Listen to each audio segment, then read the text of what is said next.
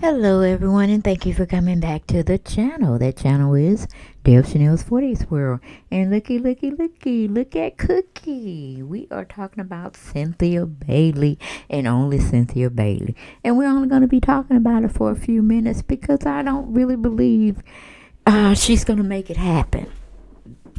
Because she's been sitting around since 2017 advertising putting up flyers saying she's going to do something with the Bailey agency. And yet, nothing has really come of it because she's had too much time on her hands dealing with Mike and what Mike wants. And she's been spending a lot of time in LA when her Bailey agency is here in Georgia. And she needs to either move it uh, to LA where she can practice on it, focus on it, develop it, and rebrand it and put it back out for the public to see for 2022 uh, and to keep her mind busy uh, and, and at least trying to make some money for herself since she's not on a Real Housewives of Atlanta anymore. And she really doesn't need the show because the only thing the show has really brought to her was a lot of disappointment and revenue at that but or I could say a, a, continuous paycheck. But if she didn't do anything with the money all the time she had been on the show, I don't know what to say for. But she really should have been investing it back into her brand. But we'll see, we'll see. We'll give her the benefit of the doubt. But she did an interview with Madame Noire, a Madame Noire magazine.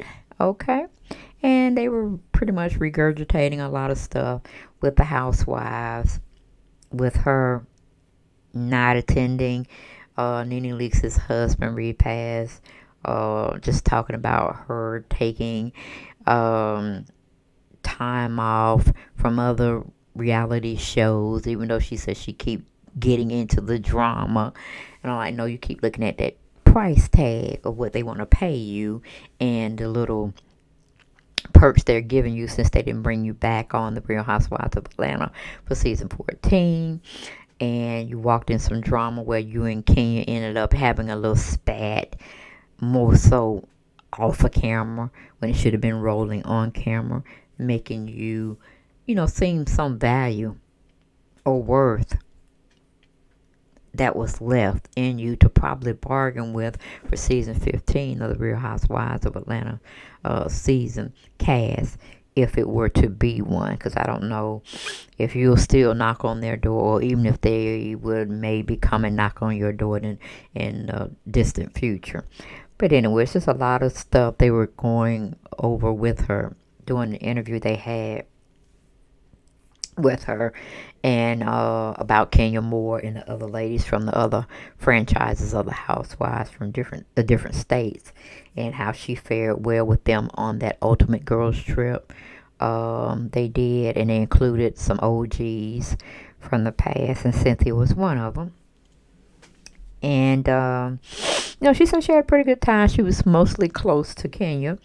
Um, than any of the other ladies and they had a lot of history and you know they had got in an argument and of course Kenya wanted to hash it off air. She didn't want to be seen as a villain over there on this other little uh cast tr uh, trip escapade that they had titled uh the what do you call it the ultimate girls trip for the housewives franchise not just you know for atlanta. But uh you know they had a little more in-depth interview with her. And she pretty much said um in regards to the article that was written on her by the magazine they said bailey didn't know what she was getting herself into when she signed up for the girls trip. Uh but is happy that she had her last hurrah with reality television and will be focused on living drama free. I keep saying it, meaning Cynthia, I'm putting the drama behind me. I'm actually walking to, into some more drama. She said, but after this, I think, I think I really am going to take a drama break. Bailey added that if she ever did a spinoff, it would focus on her modeling school. And actually, already in the talks about doing something with the Bailey agency, she said. That's the one thing I want to focus on first. Everyone always asks me if I did a spinoff, what would it be? It would be my school for sure. And then they was giving you the advertisement of the Ultimate Girls Trip. It premieres on November 18th on Peacock. Now, uh, I'm not going to look at it because I ain't been sign up for another subscription, so I could care less how the women fared on that Ultimate Girls trip. But I found it very interesting, and that's a lovely picture of um, her.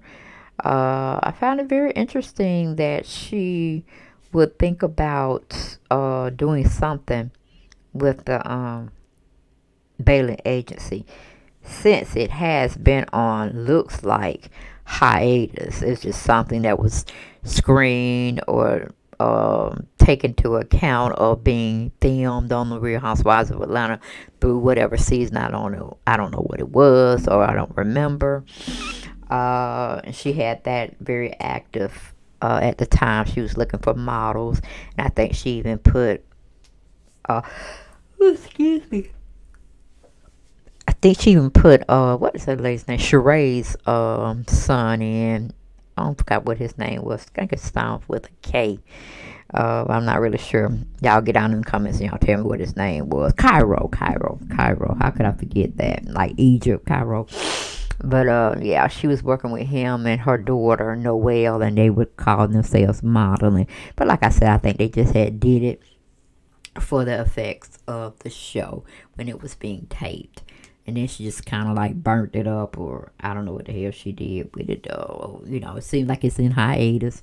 Uh maybe she's paying for the, the space. Uh maybe she's using it like she was using i think her wine cellar. She was having people come in and use some of her space that she had bought when she was married to peter. Um and i wonder what's happening with the wine cellar because we don't see any of that either or when they were taping this previous uh, season on 13. It, it wasn't no scenes being captured that I can remember. But like I said, I didn't catch it but a few times. Uh, in passing, when it came to her talking about um, or being filmed in her wine cellar, because I was kind of confused myself. Like, you know, why are you you know, opening up something that you're not. You know, it just seems like Cynthia start projects and don't finish them because you know she had the eyewear. I mean, what is what's going on with the eyewear? Then she had the luggage bag theory of she was going to be showcasing that um, and trying to sell that. What what happened with that? Um, I mean, you don't see other designers abandoning their trademarks or their products they constantly, uh, you know, wherever they're getting interviewed or wherever they're uh, being shown on television, you're definitely gonna see them market their stuff. You know, I'm like, Cynthia, do you even wear your eyeglasses, your shades? You know, at events, even when you're taping on the Real Housewives of Atlanta, do you have the Bailey shades, girl? Because that's your marquee. That's your trademark. That's your brand. You need to be, you know, advertising it because these are wares these are accessories that you definitely can put in every um, setting or every taping that you have. It could be your your brand. But i'm like you weren't even doing it. You were wearing you know other uh, designer clothes and you should be wearing your own I mean, how are you ever going to showcase and see it so wearable and so, you know, uh, versatile? You can wear it with different outfits and stuff. You should have been showcasing and even telling your friends when you were on the show that y'all stop by, you know, wherever it's being sold or this is what I got new coming out. Y'all need to get it and then go on with the storyline. Something. But you didn't do that, girl. I'm like, girl, this big ass platform you have and you try not. I mean, is it in your contracts? You can't say anything about it, or, or you can't show it, because you need to have redone your contract. Like every time I'm being seen, I want to show my product. I want to be the face of who I say I am when I'm selling these things. Yeah, I was like, girl. So it was very pleasant to hear that whatever endeavors you get yourself into next, it's going to be showcasing the Bailey Agency, which you know you can do something with it because you have the face and you definitely have the body type and you definitely have the experience, the know how, and the connections to be very successful. You don't need to be on ratchet television shows or following up Mike's behind, trying to make him appear or seem competent as a celebrity um, entertainer unit where he interview, interviews celebrities in the entertainment world, not just the sports related world. I'm like, girl, come on. You're 54 now, 53. If you ain't showing, telling, and proving now, you ain't gonna do it, Cynthia. Because you got more years behind you than you have ahead of you, dear. So let's pep it up. Let's put it into gear and drive going forward, my dear, going forward. And if you have to leave some people in behind you that you once knew and loved and cared for, then so be it. But it's time for you to think of Cynthia and Cynthia getting her ducks in a row and her to be seemingly more inviting, uh, have a good storyline for us to follow. Because uh, if you talk anything fashion or accessorized or even makeup, we're there. We're there wanting to know, wanting to learn from you. So I'm giving you hints on what you can do, and you're definitely going to get a grand following if you play your cards right, if you stick to the script of the Bailey Agency. Because it can entails everything from hair, wardrobe, accessories, and you can be including your Bailey wear, uh, you can get into the apparel business. You already got the shades going on and the luggage. Girl, capitalize while you can. Okay, but that's all I have for this video. I wanted to one up Cynthia since I've been pretty much not in her corner because she hadn't been doing anything that I needed to get behind her on. But now I see a spark, a slightly open door for her to capitalize, and I am rooting for her to do such. Forget about Mike, forget about her marriage, focus on the Bailey agency.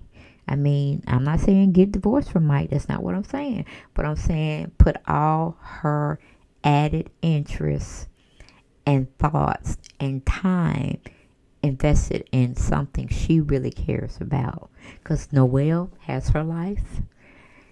Mike has his separate life from being married to her.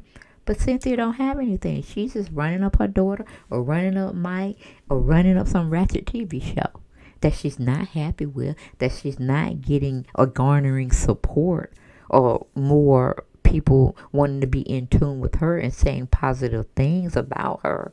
So I think she this is her time to rebrand herself and what she wants to do with herself from this point going forward. So we'll see y'all. Spread the video. Send the video to her. I'm giving her great pieces of advice. I really am. So yeah, send her the video if at all possible because I'm trying to be on her side. I am trying to be on her side. And I see her worth. I really do. But that's all I have for this video, guys. Y'all like it, love it. Gotta have more. Don't hesitate to subscribe, share, and like my videos. But if nothing else, share my videos and like my videos, y'all. And I really appreciate y'all. And I'll see y'all next video. Bye-bye.